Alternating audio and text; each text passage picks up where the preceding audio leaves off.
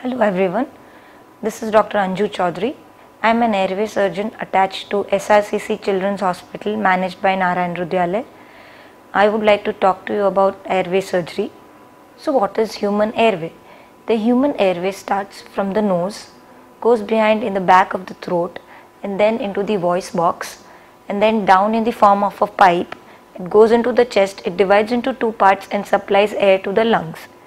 So any obstruction, any swelling or any foreign body in the whole passage can result in difficulty in breathing to these kind of children.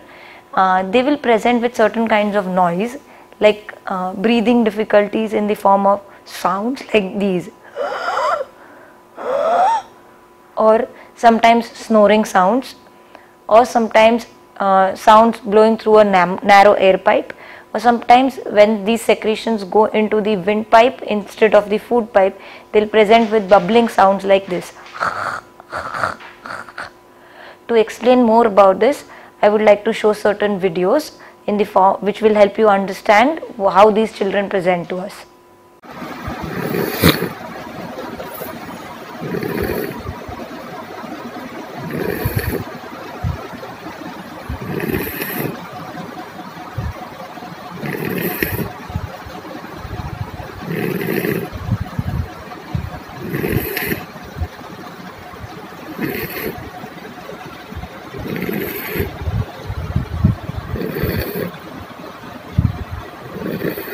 Like we hear in this video, this child has a low pitched snoring sound which happens only during sleep.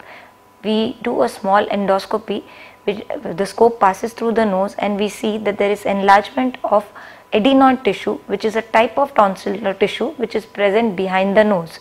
Swelling of this part results in this kind of snoring sound. The child is absolutely okay during the day but has this kind of breathing problem in the night.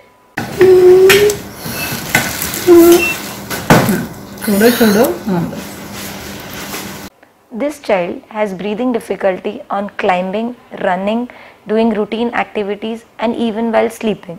As seen in this video, this child has this kind of sound when he breathes deeply inside. This is because he has a condition called bilateral vocal cord paralysis. That is the vocal cord or the two cords which form the voice box they do not open up completely when he breathes in. मेरे को नहीं पता कि कब कब कब से सांस की दिक्कत थी और this is a 15 year old boy who sustained head injury while playing and he had to be intubated for some time uh, after he got well out of the ICU, he developed a swelling in his windpipe lower down. Uh, after few weeks, he presented like this with a sharp sound on inhaling and exhaling and he has difficulty even while talking. His airway is very narrow.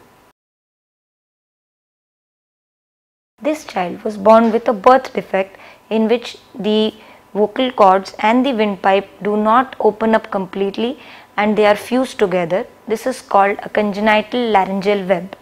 So he had difficulty immediately after birth and he had to be tracheostomized. Tracheostomy is a tube which is passed into the neck by a small operation and it bypasses the upper airway obstruction. So to remove these kind of tubes it requires a very complex major multi-stage surgery to restore the child's normal airway and uh, voice. So in our department of airway surgery, we see these kind of children regularly.